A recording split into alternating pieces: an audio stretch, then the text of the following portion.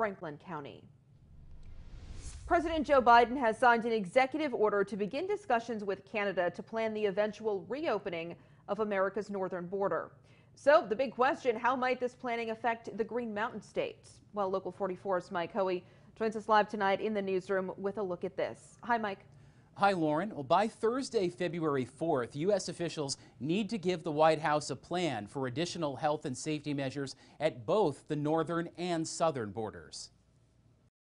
I think we just all want the same thing. We just want to open up the borders as quick as we can when it's safe to do so. Governor Phil Scott says he hasn't heard anything specific about how any potential border plan would affect Vermont, but he says he and Financial Regulation Commissioner Michael Pieciak monitor border related developments carefully. We keep track of that data on a daily basis, watching what's happening in Quebec in particular, uh, because it does impact us, just like our, it's part of our region. Uh, so we want to, you know, we want to get there where the borders open up as quick as possible, but we don't want to uh, get there quicker than we can take care of it either. Americans and Canadians have been barred from non essential travel across the border for more than 10 months. Scott acknowledged neither country has as strong a handle on the virus as they'd like. We still see the positivity rate uh, is, is escalated uh, from where it was during the summer.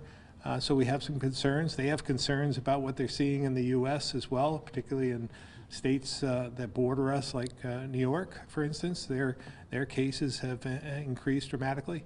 On Tuesday, Prime Minister Justin Trudeau warned Canadians to cancel travel plans not only to the U.S., but domestically, and to expect tighter travel restrictions in the near future.